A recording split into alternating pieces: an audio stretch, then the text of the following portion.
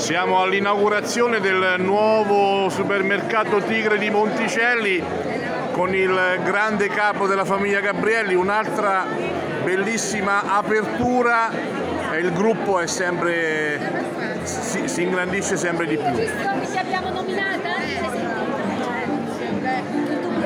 sì, bisogna crescere e non fermarsi, il resto non, è la vita che con determinazione, facendo sempre il passo secondo la gamba ma anche con molta determinazione.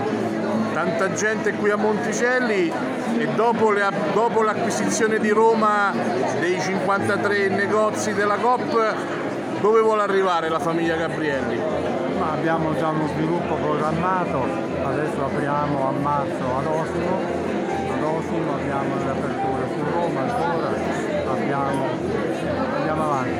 presso a Iesi un altro punto di vendita, all'Aquila. Aperture del centro Italia ma resta la scolarità.